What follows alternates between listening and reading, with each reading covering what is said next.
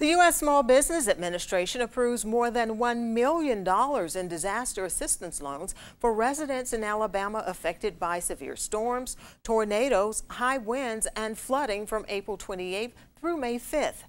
33 disaster loans have been approved, and the disaster declaration now covers the nine counties, including Etowah County, all of which are eligible for both physical and economic injury disaster loans from the SBA.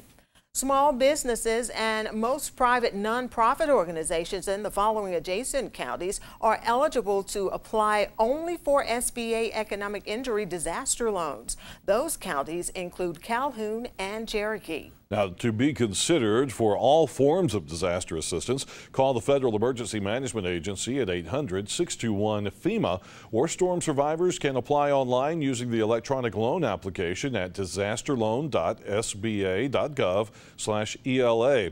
Disaster loan information and application forms may also be obtained by calling the SBA's Customer Service Center at 800 659 2955.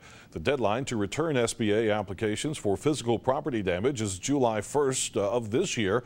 The deadline to return applications for economic injury is February 2nd of 2015.